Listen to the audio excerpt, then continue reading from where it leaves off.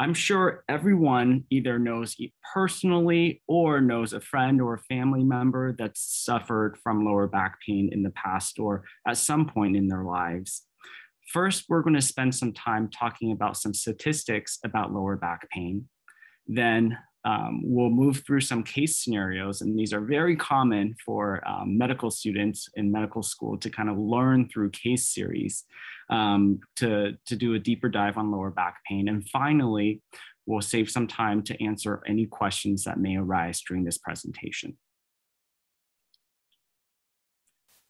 Now, it's no wonder that someone either you know personally or family member has dealt with lower back pain as dr henry has alluded to lower back pain is actually one of the most commonly reported pain conditions in 2011 the National Institutes of Health, which we've been hearing a lot about throughout the pandemic, commissioned a study to look at the, the state of research and um, the state of affairs essentially for all pain related conditions. And as you can see in the figure in the top right here, lower back pain is actually one of the most prevalent or the most common pain complaints um, a cause of chronic pain in the US um, in the adult population, way more than knee pain, way more than migraines or neck pain and shoulder pain together. In fact, lower back pain is the leading cause of disability in Americans under the age of 45. And this comes out to be about 31 million Americans experiencing lower back pain at any given point.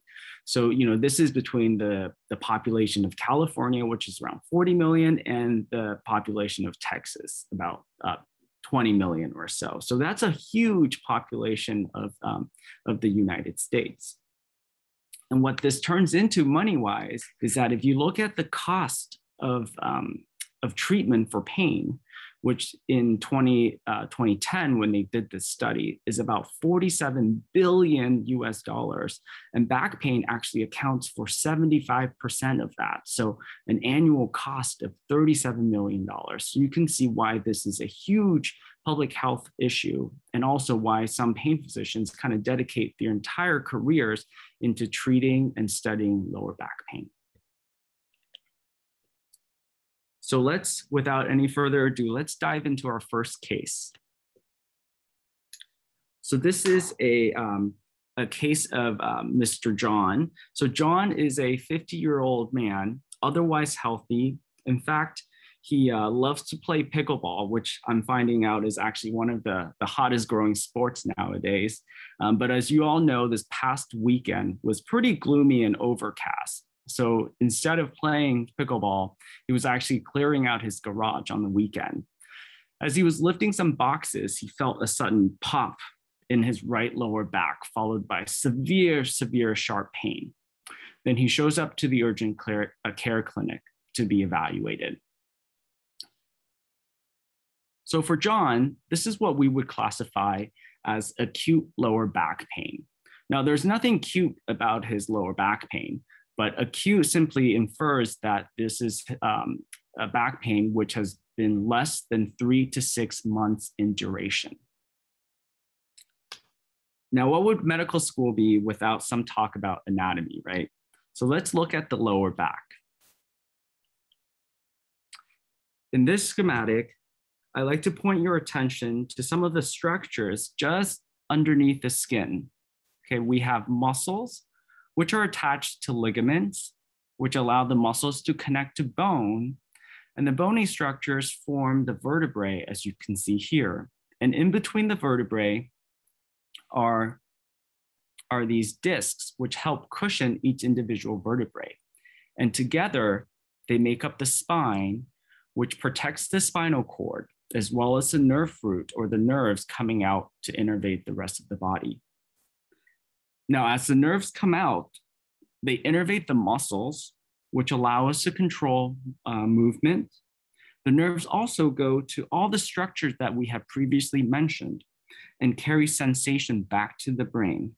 Sensations like touch, sensations which allow us to tell where our body is in space, and also the sensation of pain.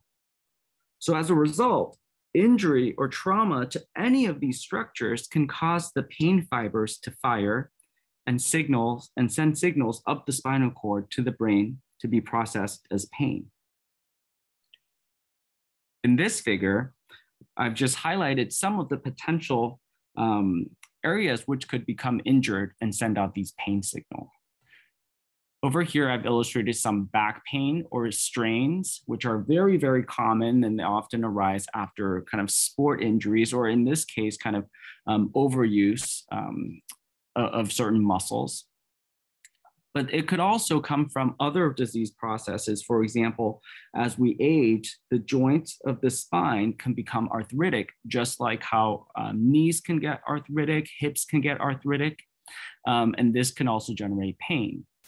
And the, cush- the, the discs or the cushions between the vertebrae I pointed out before can also lose their integrity. You can imagine, you know, there's so much force coming down on these discs when we're standing upright with gravity that sometimes they can pancake out simply from being squished so, um, so violently. And as you can see, when they squish outwards, they can cause pain themselves, but sometimes they can also impinge on the nerves coming out or sometimes even the spinal cord. So from this simple picture, I hope you guys can appreciate that there could be a lot of pain generators that cause back pain, but are they all serious and all bad? Well, as pain physicians or as physicians, um, family care uh, physicians, there are some things that we look out for that we call red flags. So when patients present with back pain plus any of these symptoms, it clues us in to think that there may be a little more than just your typical muscle sprain and strains and may warrant further workup. For example, major trauma such as car accidents may clue us into thinking that perhaps there's fractures or broken bones involved, when there's fevers associated with back pain, it clues us into that potentially there are infections that might go, be going on, especially if people are immunocompromised.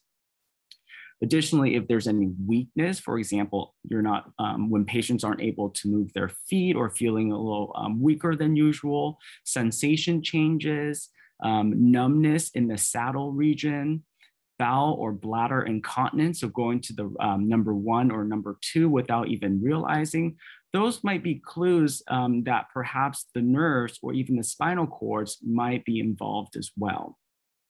When in doubt, it's never a bad idea to check in with your primary care doctor or family doctor. I'm sure actually most of you have probably um, uh, checked in with your primary care physicians expecting to undergo a major workup with MRIs or um, referrals to, to spine surgeons or neurosurgeons, but instead actually get sent home with simply some reassuring um, kind words. Well, why is that? Well, let's look at the management of acute back pain and, um, and we'll kind of dispel some myths as well as reinforce some facts. As it turns out, the prognosis for acute lower back pain is excellent so only two out of three, well, two out of three patients that experience back pain don't even show up to their family care, uh, family physicians.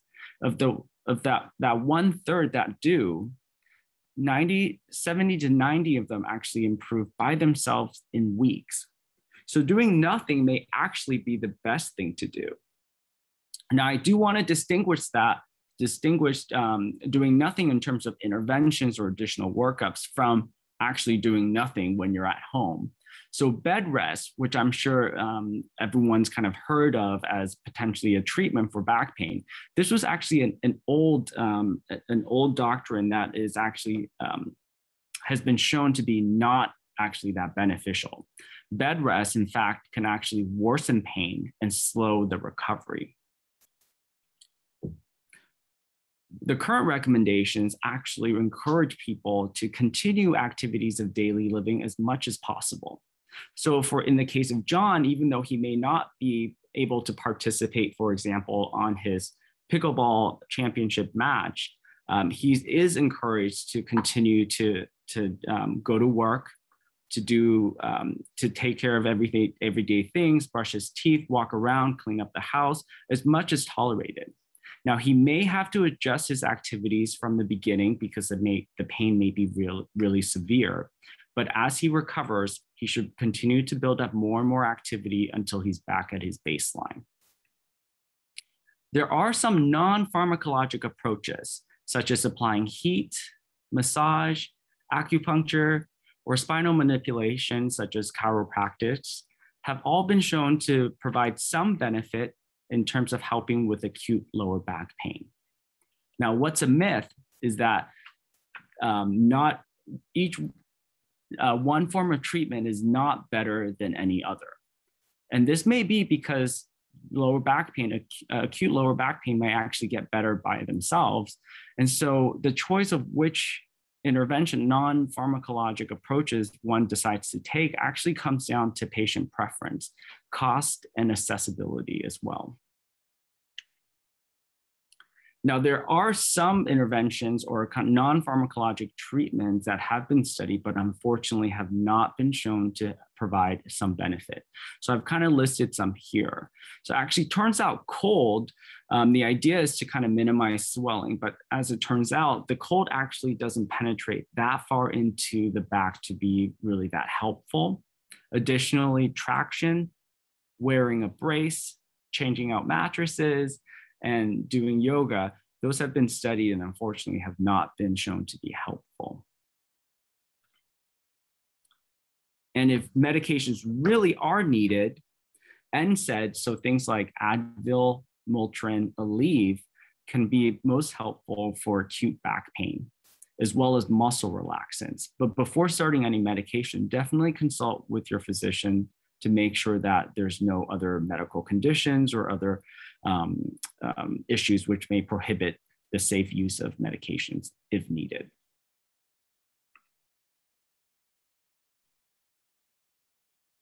So that covers acute lower back pain. Let's dive next into the second case scenario. So the second patient is Jane. Jane is also 50 um, she comes to the pain management clinic complaining of lower back pain since before the pandemic started in 2019.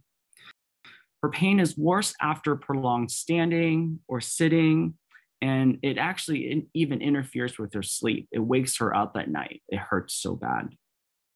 She used to work as a software engineer, but now has taken disability because of pain.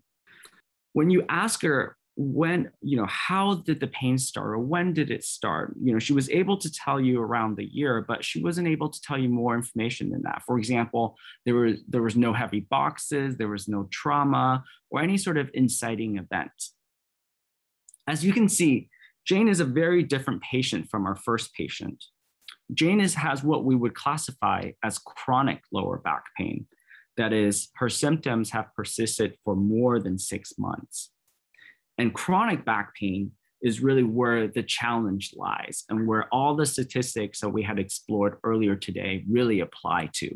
As we've seen, acute lower back pain has great prognosis and just and most of the time resolves all by themselves. So, what causes chronic lower back pain? Well, all the causes of acute lower back pain can cause chronic lower back pain. But the picture gets much more complex with chronic lower back pain. And in addition to these biological or mechanical causes, like, like I've highlighted previously, oftentimes chronic back pain does involve psychosocial factors and the nervous system. In fact, the nervous system is so powerful. The example I like to give is, you know, consider when you're first first learning how to ride a bike. You know, with training wheels, um, you have to kind of make the conscious effort of, you know, maintaining your balance, one pedal stroke in front of the next. But now, you know, now you think about riding a bike, it you don't even think about it. You, you know, it's it's hard to even explain to someone how to begin to ride a bike, yet you're able to do it so easily. And that just shows how powerful the nervous system is at learning, even if you're not trying. And that can happen with back pain or any sort of pain. Over time, the brain might learn how to fire in, in, a, in a way that signals pain. And over time, it may actually learn it as if it was a habit. And you know, the, the most extreme form is even without causing, even without tissue damage, the brain can actually and the nervous systems can start firing as if you were in pain. And that is a, a very difficult version of chronic pain. But chronic lower back pain can, can also take on that form. So let's explore this a little bit by interviewing Jane. So turns out, in addition to chronic lower back, pain, Jane has a history of anxiety and depression.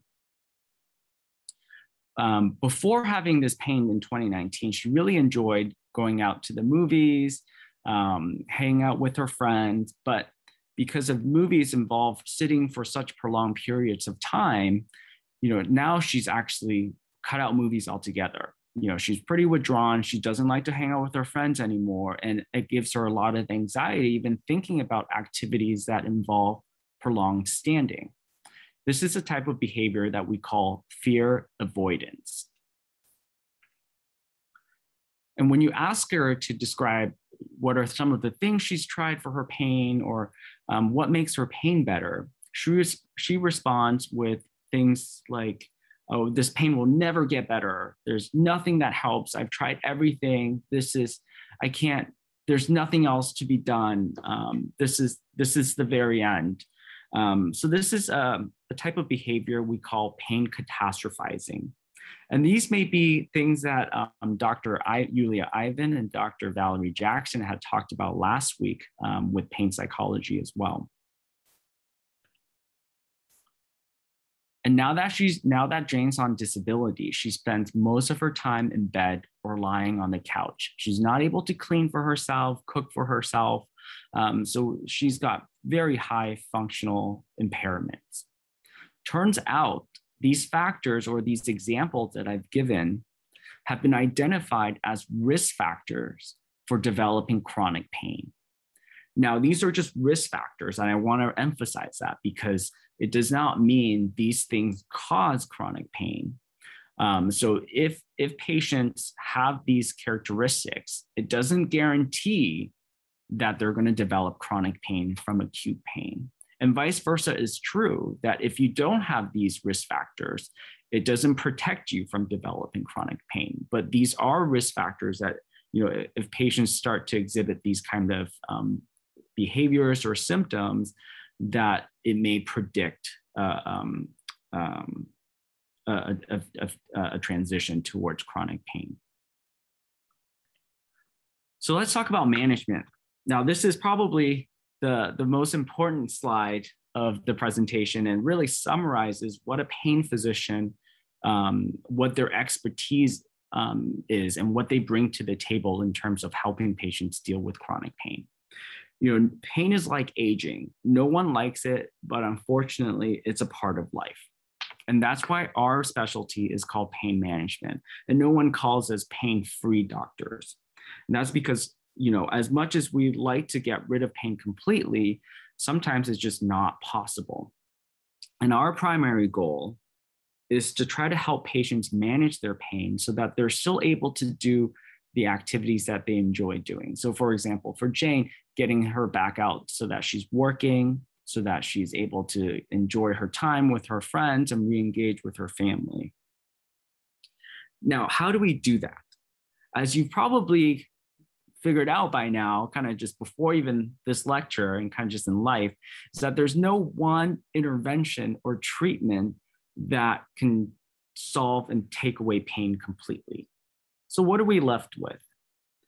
Well, the analogy I like to use is um, this multidimensional approach. That is, using lots of different approaches to chip away at pain.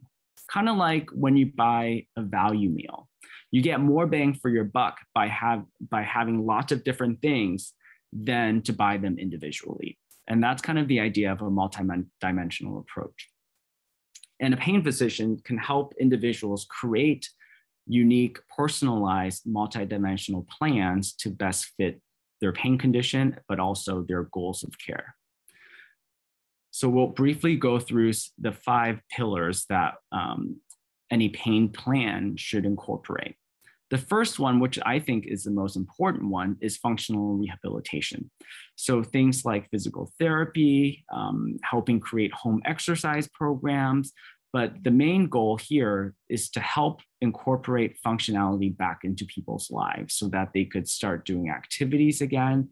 They could start um, um, um, engaging in society, going back to work, um, you know, they start being around friends, start taking care of themselves.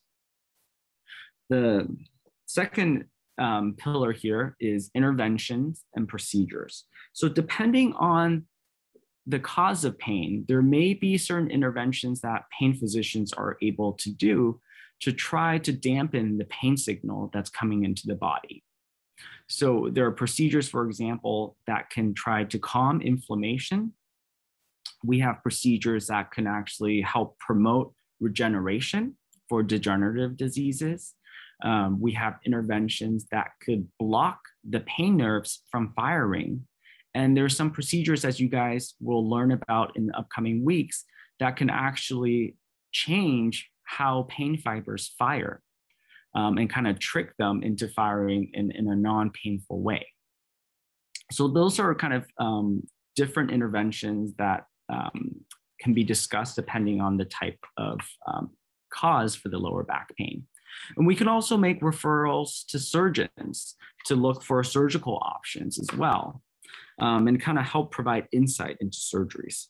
You know, I wish I could say that surgeries are 100% fixes to all problems, but as I'm sure everyone has heard, there are success stories where after surgery, patients' pains improve. And at the same time, there's also stories that I'm sure you've heard where patients undergo surgery and their pain is not resolved, or worse yet, their pain worsens. There's also medications that can be really effective at treating various pain, um, various types of pains. And the, the pain physicians were experts at kind of matching the type of pain to the type of medications that'll work. This often requires a, a, relationship over time because not all medications work for everyone. So if you think about blood pressure medications, for example, not all blood medications work at decrease, decreasing blood pressures for everyone. And so it is a trial process, um, and that requires kind of trust and time and a, a good therapeutic relationship. And and a, a lecture about pain would be remiss if we didn't spend some time talking about um, how pain is treated with opioids as well. And that's something we'll do a deeper dive into after I touch on the other two pillars of the multidimensional approach. So as we've kind of discussed with with Jane, you know, not only does she has chronic have chronic pain, but she also has these negative or pathologic adaptations to pain, and that's where mind body interventions and pain psychology can be extremely helpful um, because even though she may have pain signals coming in um, the mind is very powerful and it can amplify and respond negatively as well as positively to chronic pain. And what we want to do with pain psychology is to make sure that the mind or the nervous system is was is retrained in a way that we respond positively and adaptively to pain signals. Things like cognitive behavior therapy, biofeedback, and some of the other um, interventions that Dr. Ivan and Dr. Jackson have discussed last week are kind of the pillars for this intervention. And lastly, the more that we know about complementary and alternative medicines, the more that we're realizing that there's actually a lot of untapped resources here that have been really helpful in terms of managing chronic pain.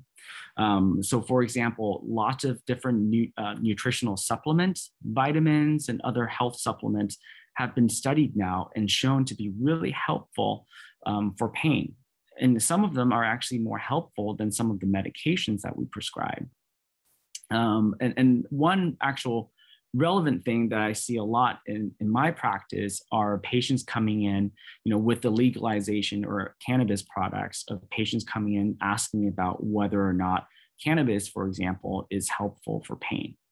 You know, at this moment in time, there's still a lot of research that's ongoing, um, some that support its use and others that show that it's not really beneficial. So it's a little too early to have a definitive conclusion on that. But you know, with additional research, you know, we've come to realize that, for example, the, the receptors for cannabis are on some of the cells that are involved in processing pain signals. So it's a very exciting area of research um, and also a very exciting area for um, therapies. So now let's dive in and look at um, opioids and how they relate with pain.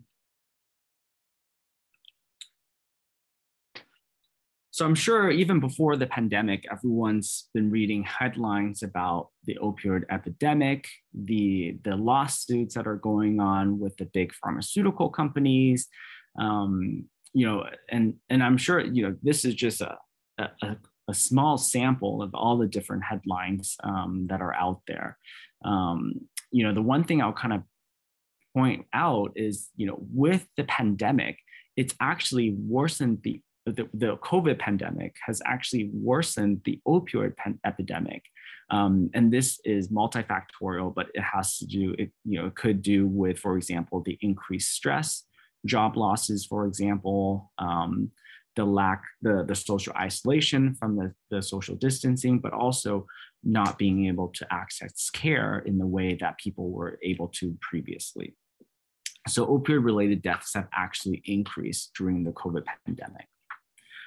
Um, in the bottom here is an excerpt, um, I believe, from the New York Times, which highlights that opioids are often ineffective for the treatment of lower back pain. And I think even uh, even more broad stroke, I think, um, you know, I kind of challenge someone to to share with us um, headlines that actually go somewhere along the lines of, you know, opioid um, doing great for the world and, and curing chronic pain and giving people their lives back um, and, and, improving functionality and letting them do things they once enjoyed. And I think that's one of the headlines that's always missing in the news. And that's because the evidence for that is actually very, very small.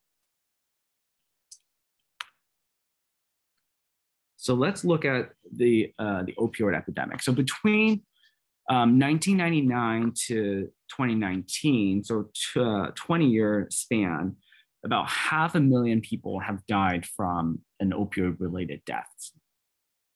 And the, the time curve of opioid related overdose and death in America dates all the way back to the 1990s. And it actually follows three waves down here. So the first wave back in the 1990s is actually when the pharmaceutical companies first started synthesizing um, synthetic opioids, especially the long acting um, synthetic opioids. So things like Oxycontin that you may have heard of in the news. Um, there was a big marketing and advertising push from these uh, pharmaceutical companies for to the physicians. Um, it, they kind of overstated some of the benefits of opioids and downplayed a lot of the potential side effects and um, adverse effects of these medications.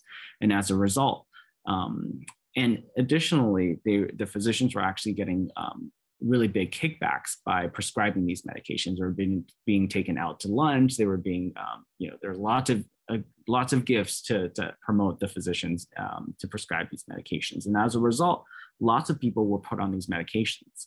And um, as a consequence of that, things like opioid use disorders, opioid abuse, addiction, um, that also started to rise. And that brought about the first wave of the opioid um, epidemic. The second wave kind of spun out from the first wave. So now that these people are, are used to seeing opioids, you know, and it's becoming harder and harder to get their hands on it, they are kind of pivoting and looking at other sources of opioid, in this case, the heroin. Um, so this is around the early 2010s, which kind of correlates with this curve right here, the, the orange curve.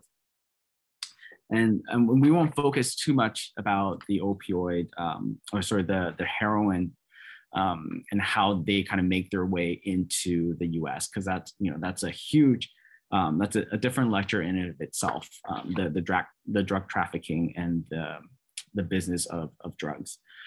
Um, and then in 2013, an even more powerful synthetic opioid was starting to be synthesized and introduced into the street, and this is fentanyl. And for, for those of you who um, live in San Francisco, we know that fentanyl is, is, is very, very prevalent. Um, and we actually see a lot of fentanyl related um, issues in the emergency rooms in the hospitals here in San Francisco.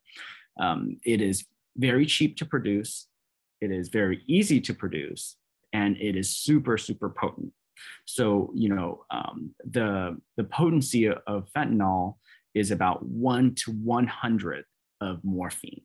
So for every one of fentanyl is the equivalent of taking 100 morphine. So that's, that's you know, two, twofold magnitude um, of, of potency. And when that gets mixed into um, medications because it's so cheap, that really, really increases the risk of overdose related uh, deaths.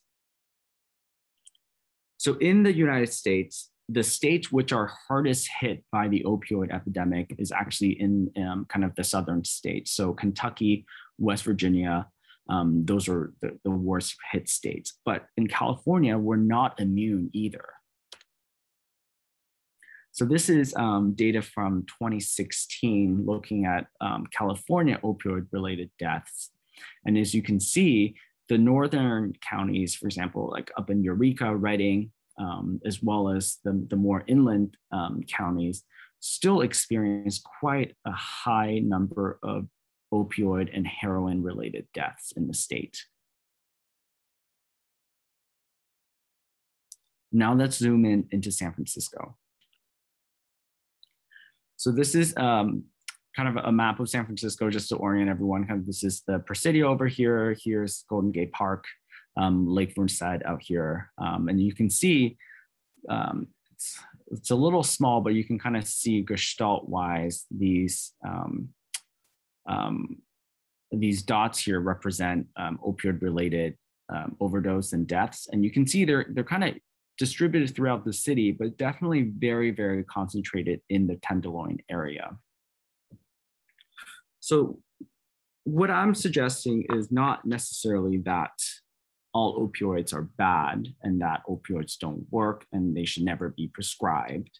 Um, there, there can be success stories with opioids. However, I think what's more important is that we need to recognize the amount of risk um, is, and to balance that with the amount of risk that one is being exposed to by using opioids. So this is a schematic um, which kind of illustrates some of the um, some of the system-based um, approaches to make to making sure that opioids are used in a responsible fashion. And, and here, um, in this first box here, it um, highlights the importance of having um, good self-care, good doctor-patient relationships, and a focus that's not so much on pain severity or, or pain score of from one to 10, but more focused on activities and goals and functional goals. Um, what we know is from big studies about opioids is that when they compared patients on opioids to patients not taking opioids, um, long term, their pain severity or pain scores are actually the exact same and looking at their functionality down the line chronically, the two groups are the same as well. So it seems from these major, major studies, there does not seem to be kind of um, a long-term benefit to opioids when we're when they're looking just at these outcomes. So it's really important to kind of think long-term.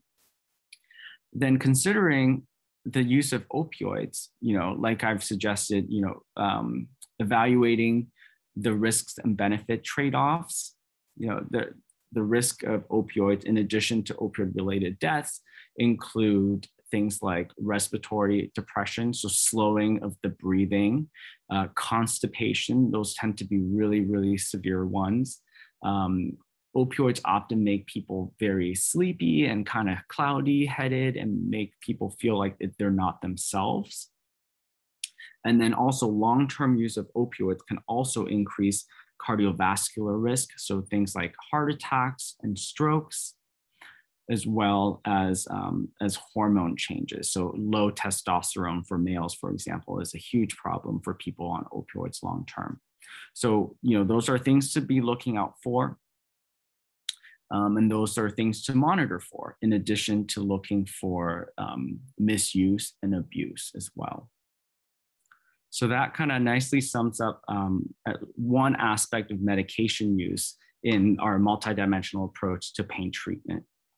So to summarize, um, with regards to acute lower back pain, the majority of acute lower back pain cases will improve with time and that doing nothing or kind of doing as much as tolerated is usually enough and is, is the best approach. But con contrast that to chronic lower back pain, that can be much more complex and oftentimes is not as simple as kind of the mechanical or the biologic causes of pain. And it often has a really strong psychosocial component as well. These are kind of the, the nervous system factors that I've described earlier. Um, opioids, as I've I just alluded to, have not been shown to improve pain or function long term, but in fact, they've been consistently associated with side effects, including abuse and death. So they need to be used with extreme care and extreme caution. And pain management specialists can help create a personalized treatment plan to treat chronic back pain using a multidimensional approach. So again, the best approach to chronic issues is not through just one intervention, but that value pack of using lots of different interventions at the same time to chip away at the chronic pain issue. Thank you so much for your attention. And I look forward to, to having a discussion about any, any of the topics we've discussed today.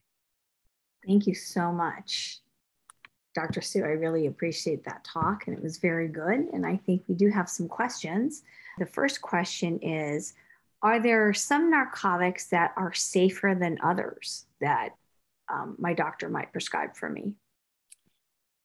Yeah, thank you for that question. Um, definitely, not all narcotics are are the same, um, and they are used for for different purposes. Um, in general, I think the current um, the current view is that um, you know narcotics should not be the first line medication that's used to treat pain.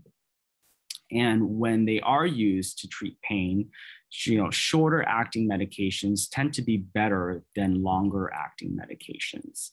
Um, and then in terms of the actual different medications you know comparing things like norco to, to morphine to percocet um, as these common kind of types of medications that are being thrown out.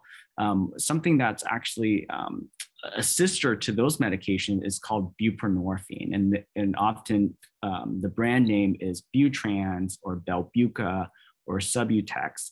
These, this is a, a, sister medication to the Norcos and the ox, oxycodones that actually has less tendency to have some of those bad effects that you hear about in the news. So, you know, if we were to start, uh, you know, to start a, an opioid medication, um, you know, I really strongly encourage you to have a discussion with your physician about that medication in particular. Not to say that that is going to work, because as we know, not all medications work for every single person, but from a side effect profile for for for the greater community and population, it tends to be safer. Excellent, excellent. Thank you for that um, answer. We have a couple other questions. I'll turn to the chat. Um, the questions being asked Can you talk about two aspects of sleep as they relate to low back pain position of sleep and mat- mattress firmness? You know, unfortunately, I'm not a, a, good sleep expert, so I can't really attest to you know the the best sleeping position. I've you know, I've had colleagues who've kind of told me about things here and there, but I'm kind of reticent to kind of report that because I have never, I haven't had the opportunity to kind of vest through the research and data to kind of give advice about that. Um, same same with the the mattress firmness as well. Um, what I can talk about in terms of sleep and as it relates to lower back pain or just pain in general is that the quality of the sleep, however, I think is is most important and perhaps more important than the position of sleep. We know that sleep kind of feeds into pain. So people who have poor sleep patterns actually experience more severe pain. Um, and that um, and, and vice versa. And people that um, get uh, well rested sleep tend to experience less pain severity as well. Is there any recent data on whether opiate induced hyperanalergia occurs in patients on long term low dose opiates? I've seen data on high dose patients, but not low dose.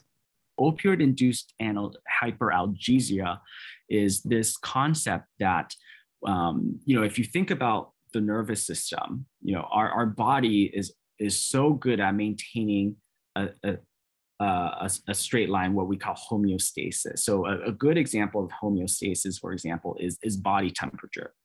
You know, our body, our body tries to maintain a set temperature. If you're too hot, you start sweating to try to bring down your body temperature. If you're too cold, you start shivering to try to generate heat to restore this set point. So the, the same analogy can be thought about in terms of, of pain and, and, and a, a degree of you know pain state and analgesia or less pain state. So our body kind of tries to maintain this set point. And when you give someone opioids, what it does is actually it drives this, it kind of temporarily drives this set point down towards pain-free zone. And because your body tries to maintain this uh, the set point, opioid induced hy- hyperalgesia is this concept that you know because you're always exposed to opioids and it's bringing the system down the nervous system is going to compensate and actually become more sensitive to pain. And so by giving opioids even though you're trying to bring down pain you're actually driving your whole nervous system become become more sensitive and wanting to fire in a painful fashion. So that's kind of the idea of opioid hyper uh, induced hyperalgesia, and that's definitely been shown and seen in in opioid um, in chronic opioid users. Now, is is there a higher propensity um, for people to develop opioid-induced hyperalgesia when you're using lower doses compared to higher doses? I don't, you know, I don't think we kind of know the answer to that question because, you know, the where we kind of run into problems and where it actually gets reported is when people are on high dose opioids because on high dose opioids everyone's kind of very vigilant about the amount of opioid they're using, the amount of refills they're getting. So it's, you know, we're kind of primed to kind of catch people when they're on high doses when all of a sudden they need more or they're, uh, you know, when they're experiencing more pain. Whereas for the low doses, you know, you know, with the lower doses, it tends, um, you know, they're less likely to fluctuate their doses and perhaps it's a matter of reporting um, but can it occur for sure in the operating rooms, for example, we will use IV um, opioids to treat pain and we'll use very low doses. And even in the operating room with low doses, when we're actually looking at these people and monitoring them all the time, we do see that even after a single dose, single small dose of opioids, that they do develop this tendency to need a higher dose, um, or which we in, we kind of interpret as that they are in more pain. Um, Interesting. Know, hopefully, very, answers very your question. Um, another attendee asked, "Can you elaborate on the procedures that promote regeneration, regenerative techniques?" Yeah, yeah. So that's you know, um, thank you for asking that question. It's definitely one of the more new areas that um, pain physicians are kind of venturing out to. So traditionally, for for pain procedures, we inject a lot of steroid injections, for example, to try to calm down inflammation. Or we do a lot of nerve blocks or nerve zapping or ablations, where, in which we kind of burn the nerve. So these are all kind of um, traditional methods that tend to destroy um, or kind of block the nerve from firing.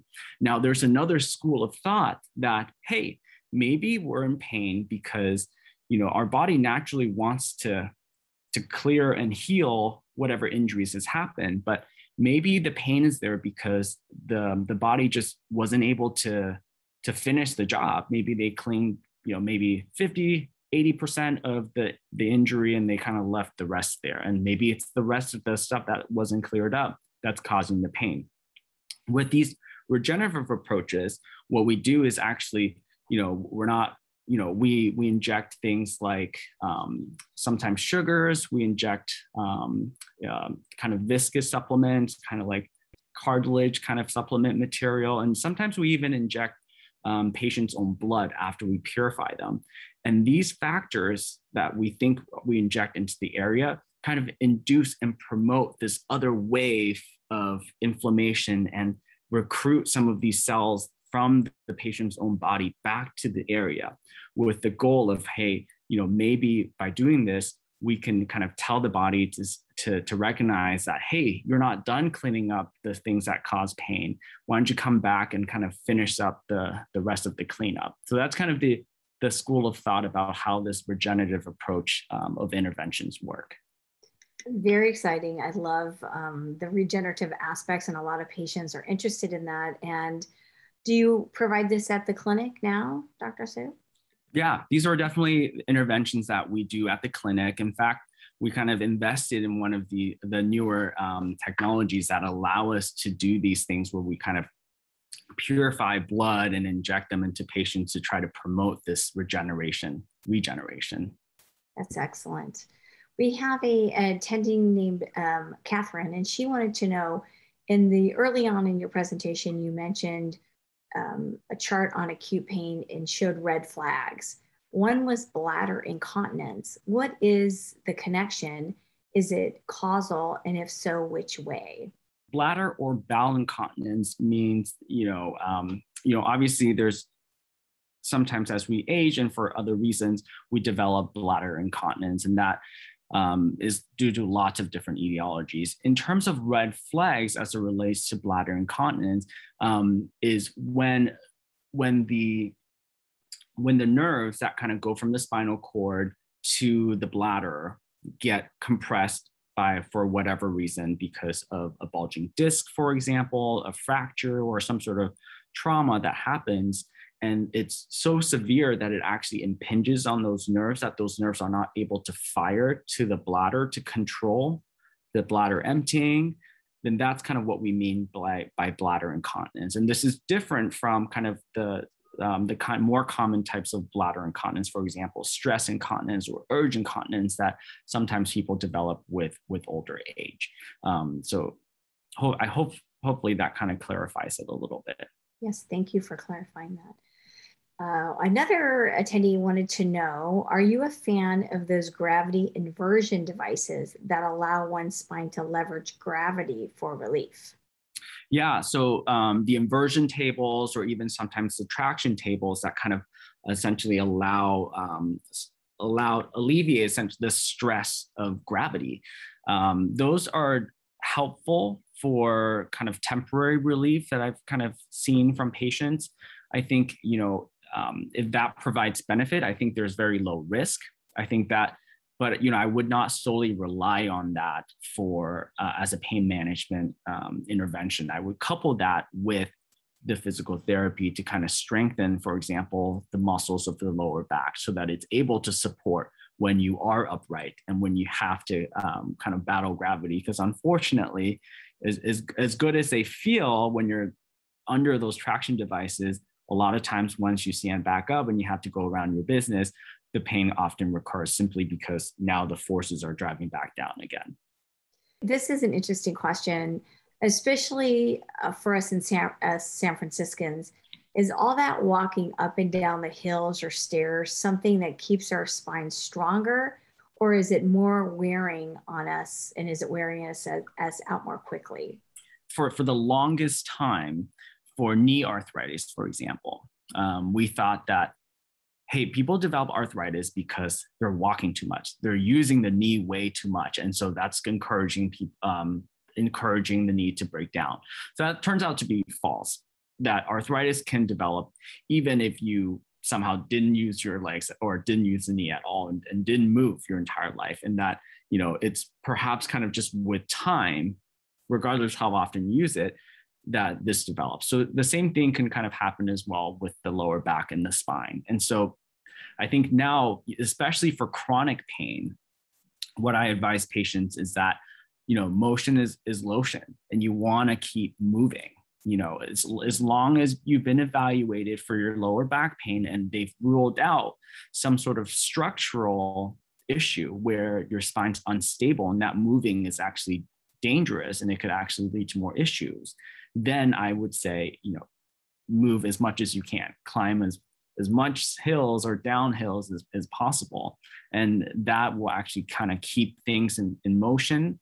Motion kind of generates lubrication for the back, it strengthens the muscles. And so, so I would say um, maybe the, the opposite is that it's actually good for you. Excellent news to hear that, especially since we live in San Francisco. There are so many hills. When you evaluate a patient, how do you decide to start a medicine versus begin with a procedure? Is that something you decide on your own, or is this something you discuss with the patient? What weighs into your decision when you develop a treatment plan? Yeah, that's a great question. I think you know, um, with with today's day and age, um, especially in San Francisco, you know, a lot of our patients have uh, an idea of kind of what they want for their treatment. They they're very engaged. They've they've you know read lots um, about their their condition before they even get in here, um, and so they're actually very interested in kind of being partners in kind of coming up with treatment modalities. And so oftentimes, then that's why you know every plan between one patient to the next is very different because it depends on what the patients um, are interested in. You know, what I would say um, is most patients, you know, depending on where they are in life, um, some people don't like medications. They've tried lots of medicines in the past. It's not great. It hasn't worked well for them. They're very sensitive, or they, um, you know, for example, they have jobs that don't allow them to take certain medications, for example. Um, and there's also other patients who, you know, they they they don't like needles, and they the, the last thing they want is to have someone come at them with a, a needle of any sort. And so, you know, they want their treatment to be tailored and focused just on medications and, and functional rehabilitation and pain psychology, for example. But in, in general, like, you know, my approach is to, like I've presented, is to try to incorporate all five pillars of treatment because we know that that's going to be the most effective versus just isolating and using using one modality by itself how are the spinal discs attached to bony parts um, uh, attached to the bony parts they separate. And then is there an artificial or replacement option? I'm not sure if you covered the artificial part. Yeah, yeah, definitely. So between the vertebrae themselves is this uh, this substance we call the disc, which is kind of like a think about it like a like a little cushion, a little gel that kind of buffers the up and down forces and also allows the spine to bend in motion. Um, over time, especially with age and especially with um, smoking, it tends that disc, which is usually filled with fluid and, and, water so that it can be really flexible, tends to dry out. And as it dries out, it loses height. And that's why also as we get older, we tend to kind of decrease in height. Um, that over time, as the, and that degenerates, and sometimes it happens just simply because of age, that, be, that can become a pain generator in and of itself. Um, and, and there are procedures to replace the disc. Um, there are artificial discs that can be kind of gone, go in there um, and kind of preserve the, the height of the disc. There are also procedures, and these are procedures done by um, surgeons typically. And there are also procedures where you can go in and, and take out the disc completely and kind of maintain that height by simply fusing the two discs or the two vertebrae at, at a set height. So those are different options as well. You know, unfortunately, that starts to venture outside um, the realms of my expertise as a pain physician. But you know, we work closely with surgeons to kind of make those referrals and to make sure that patients kind of get those information if that's something they're interested in as well. This is an interesting question that was posted. I have myself have not seen any data on this, but the question is with more cars equipped with airbags, have you seen less incidence and or severity of spinal injuries? Interesting question, but I'm not sure if I've seen anything recent on this. Yeah, very, very interesting question. I think, um, you know, I think both you, Dr. Uh, Dr. Henry, and I have seen quite a few of, um, you know, car accident, motor vehicle accident patients that come in for back pain. And what's interesting is that most of them actually don't complain so much about lower back pain and they get they complain a lot more about cervical neck pain and i think that's because more of the the whiplash injuries i think with the car the way this and again this is kind of just me hypothesizing here but a lot of car seatbelts, if you kind of look at the, the way they're structured, there's actually not much mobility to move in the hip and the lower back region. The, the two kind of seatbelts come together and kind of they straddle right across the waist. So when there's some sort of high impact or, or, or sudden stop, there, the, the lumbar spine actually does not get to move that much because that seatbelt locks in before you know you're able even able to fly forward. Whereas the neck, you know that's not really secured at all and a lot of whiplash injuries can happen um, as a result of motor vehicle accidents. I agree with that theory. I think that's that's probably very accurate. We have another question in the chat. How uh, how do you describe the way you collaborate with acupuncturists? Is the state of relations with alternative mode providers evolving Oh, definitely, definitely. I think you know acupuncturists, um, chiropractors, for example, nutritionists. Um, these are all kind of complementary and alternative pra- practitioners that, um, as we're learning more and more about the efficacies of these therapies, you know, we're kind of starting to be much more collaborative and embracing of each other's practices. I think you know for example, for acupuncture, there are certain conditions that are really good or that that respond quite well to acupuncture. So a lot of musculoskeletal things.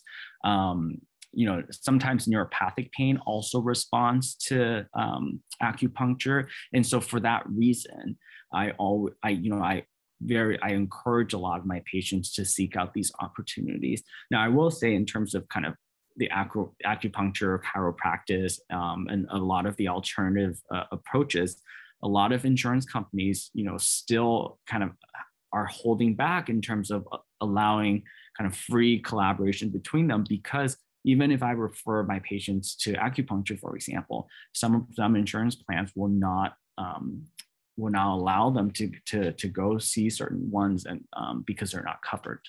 So I, I would say that becomes more of the barrier than you know us kind of being able to have a discussion about that. Absolutely. I think that's what one of the things we run into the most. We want to offer these to patients but then there can be a roadblock with insurance. Yeah. And that's probably one of the more frustrating aspects of our job but uh, sometimes we can work around that but excellent yeah. what you brought up. Yeah.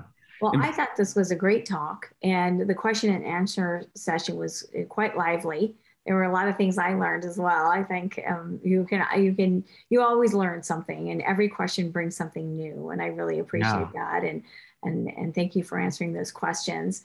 So um, again, thank you for speaking with us today, and thank you so much for attending this lecture. And have a great evening.